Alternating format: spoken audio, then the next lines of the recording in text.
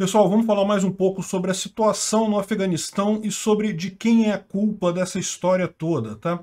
Essa notícia foi sugerida por... Vamos falar de várias notícias aqui que foram sugeridas por Daniel Shinoda, Carlos Rodolfo Andrello e Português Libertário, dentre outras pessoas, teve muita gente que falou notícia sobre isso, mas eu agradeço a todo mundo que sugeriu a notícia, eu agradeço a você também que está assistindo nossos vídeos por aqui. Se você gosta do nosso conteúdo, por favor, deixe o seu like, se inscreva aqui no canal, né? Pois bem, vocês lembram, uh, ontem a gente fez vídeo, tivemos uh, vídeos sobre esse assunto todos os dias, a situação lá ainda é bastante complicada no Afeganistão, mas houveram alguns desdobramentos uh, para melhor de ontem para hoje, né?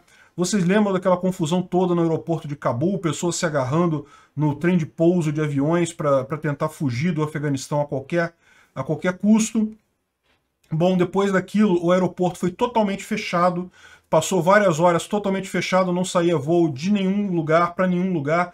Os, os, voos comerciais já tinham sido cancelados todos, eles cancelaram também voos militares que estavam saindo de lá, foram todos cancelados. Né? E com isso parece que a polícia ali do aeroporto conseguiu é, conter a multidão, conseguiu tomar controle da população e uh, já hoje recomeçaram os voos, por enquanto só militares, uh, mas recomeçaram os voos de resgate. Né? O que está acontecendo é que os países que têm uma grande, um grande número de pessoas lá em Cabul e temem pela vida dessas pessoas estão mandando aviões militares para resgatar essas pessoas lá.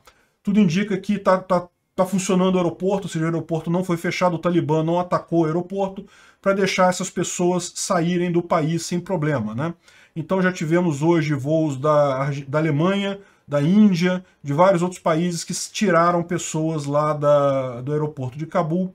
No final das contas, quem ficou tranquilo lá não, não saiu se agarrando a trem de pouso de avião, tudo indica vai conseguir sair é, lá do aeroporto. Né? Mas de qualquer forma, como era de se esperar, as pessoas lá no Afeganistão se sentem traídas, tanto pelos Estados Unidos quanto pelo governo afegão anterior. Né? Como a gente viu, o, o governo realmente desabou muito rápido, é uma coisa que ninguém esperava. Que o Talibã iria tomar o controle do país, todo mundo sabia, mas desse jeito, tão rápido, realmente foi algo que ninguém esperava. Né? É, é, e o povo lá de Cabul, de fato, não gosta do Talibã. Ninguém gostou dessa, dessa forma como a coisa aconteceu. E tudo indica que é, muito tem a ver com o papel da China por trás disso daí. É, vocês lembram, um pouco antes dessa ofensiva do Talibã, os chineses fizeram acordos com eles, então muita gente vê um aumento da força do Talibã aí em função disso. Né? É, o fato é que há poucos dias atrás, no início de julho, Joe Biden dava essa declaração. Repara a declaração que o Joe Biden deu. Início de julho. Coisa de um mês e um pouco mais de um mês atrás. Is the Taliban takeover of Afghanistan now inevitable? No. A pergunta do repórter: é, o Talibã tomar o Afeganistão agora é inevitável? It is not. Não. Because you have the Afghan troops have 300,000 well equipped, as well equipped as any army in the world. Não, porque você tem um exército afegão com 300 mil soldados, bem treinados e bem equipados, tão bem equipados quanto qualquer exército no mundo. Cara, não deram um tiro, não deram um tiro. Se entregaram. Impressionante. And an Air Force against something like 70 e tem uma força aérea que também já foi capturada pelo Talibã, né? Alguns aviões conseguiram sair, fugir para fora do país, mas uma boa parte foi tomada pelo pelo Talibã. 5,000 Taliban.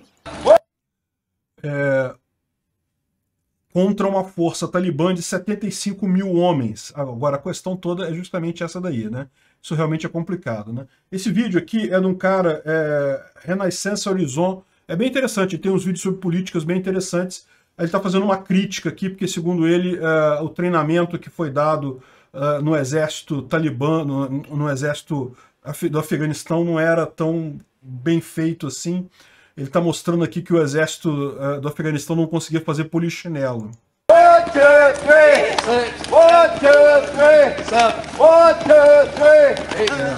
Realmente falta alguma coordenação motora no pessoal, mas isso não é o nosso ponto. O nosso ponto é que, meu amigo, mesmo que você não faça polichinelo, caramba, você tinha arma para se defender, o que que houve, né? Então, veja o, o Biden falando isso no início do mês e agora o que ele falou ontem. I stand squarely behind my decision. After 20 years, ele falou que defende a decisão dele de tirar as tropas do Afeganistão. Não tinha como falar outra coisa. Depois da merda feita, ia falar o quê? Me arrependo. Não tem jeito, né? Bom, é, eu não vou botar o discurso todo dele aqui, é longo, é muita coisa que ele fala, é, eu não teria saco de ficar traduzindo tudo para vocês, mas não tem grandes segredos não. O que ele fala é que tinha mesmo que tirar o pessoal de lá, de fato ninguém esperava que o Talibã fosse tomar o controle tão rápido, e daí ele, ele critica duas, duas coisas. Ele fala que a culpa foi do Trump, que planejou essa saída antes dele tomar o poder, o que é falso. O plano de Trump previa que eles sairiam em março desse ano, desculpa, em maio desse ano. Foi o Biden que entrou e estendeu esse período, agora refez o planejamento todo para sair agora. Ah, mas então o Trump seria pior ainda? Não dá para saber. Talvez Trump tivesse feito a coisa no tempo certo para evitar o planejamento do Talibã. Claramente o Talibã se planejou para tomar o poder. Né? Eles tinham uma estratégia para isso. É, o fato de ter dado mais tempo para eles talvez tenha sido justamente o problema aí. É o que eu falo.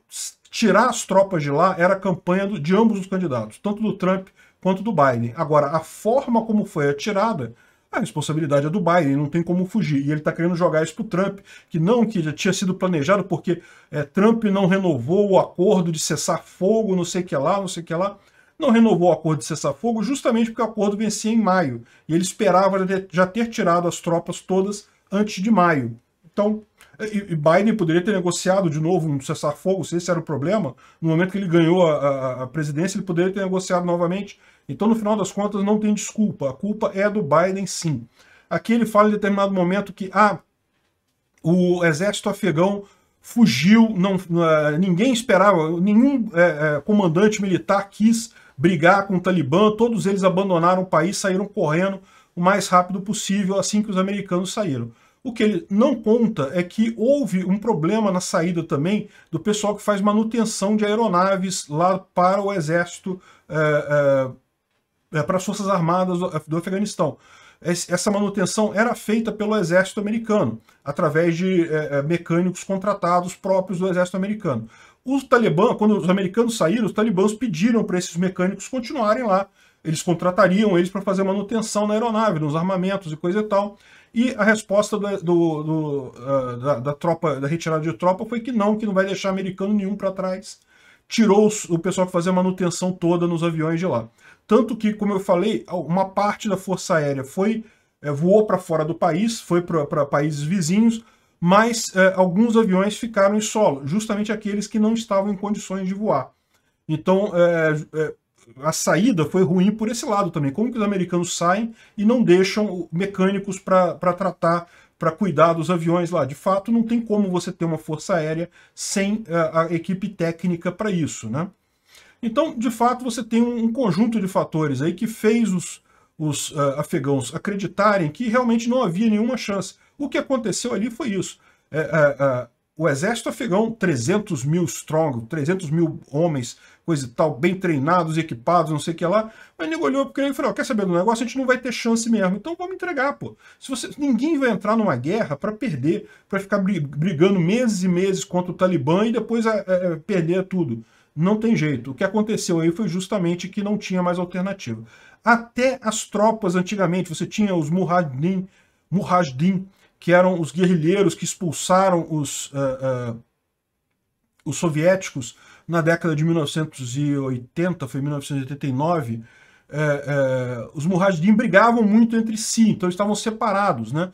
Quando os Estados Unidos entrou, ele acabou criando uma tropa totalmente uniforme, coisa e tal, sem essas brigas de, de grupos ali do Afeganistão. O que aconteceu agora é que não teve ninguém para brigar contra o Talibã dessa vez. O Talibã, antigamente, ele enfrentava resistência desses caras, agora não enfrenta mais. Acabou sendo pior, né? Bom, no final das contas, o, uh, o que, a verdade é aquilo que disse o Ron Paul, em algum momento teria mesmo que ser feito isso, Aliás, ele até, ele até falou isso no artigo. É, don't blame Joe Biden. É, o fato é que todo mundo sabia que isso, isso iria acontecer. No momento que os Estados Unidos saísse de lá, isso iria acontecer. Agora, é aquilo que eu falo, ok, não, não dá para culpar o Joe Biden pelo resultado final, mas certamente a forma poderia ter sido melhor. Não tem como discutir isso.